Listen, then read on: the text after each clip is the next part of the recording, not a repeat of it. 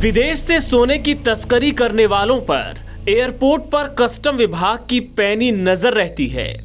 Airport पर scanning और checking करने वाले अफसरों को गच्चा देने के लिए तस्कर भी एक से बढ़कर एक अनोखे तरीके अपनाते हैं। ऐसे कई मामले हम आपको पहले भी दिखाते रहे हैं। इसी कड़ी में एक ताज़ा केस सामने आया है यूपी के वाराणसी से। यहाँ के लाल बहादुर शास्त्री अंतर्राष्ट्रीय हवाई अड्डे पर पिछले दिनों शारजा से दो यात्री लैंड किए। इनमें से एक था आजमगढ़ ज़िले का रहने वाला रियाज। रियाज को गौर से देखिए, आपको सब कुछ सामान्य लग रहा होगा। अफसरों को भी पहले सब ठीक लगा था। लेकिन स्कैनिंग के दौरान पता चला कि शरीर के ऊपरी हिस्से में रियाज ने कुछ छिपाया हुआ है।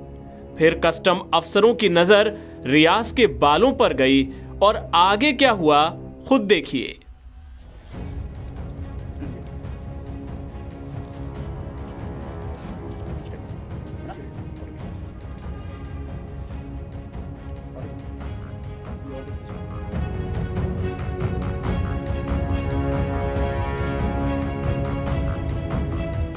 रियाज ने नकली बाल या विग के नीचे काली पॉलिथीन में सोने का ये पेस्ट छिपाया हुआ था, जिसे देखकर अफसर भी चौंक गए। सोने का ये पेस्ट विग के अंदर छिपाकर सिर से चिपका कर रखा गया था। दरअसल, रियाज ने सोने की तस्करी के मकसद से ही अपना सिर मुंडवाया था और फिर विग के अंदर सोना छिपाकर शारजा से भारत ला रहा था। लेकिन वो कहते हैं ना, सिर मुड़ाते ही ओले पड़ जाना तो रियाज के साथ कुछ वैसा ही हो गया। वहीं रियाज के साथ आए एक दूसरे यात्री के पास से भी काटन के निचले हिस्से से सोना बरामद हुआ। दोनों को मिलाकर कुल आठ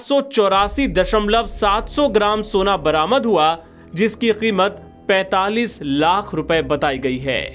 पकड़े गए दोनों आरोपियों के खिलाफ कस्टम विभाग अब आगे की कार्रवाई में जुट गया है। बालों के अंदर सोने की बरामदगी का यह वीडियो अब सोशल मीडिया पर वायरल है। लोग एक और जहाँ तस्करों की तरकीबें देखकर हैरान हैं तो वहीं कस्टम अफसरों को भी बधाई दे रहे हैं कि उनकी पैनी नज़रों से तस्कर बच नहीं पा रहे।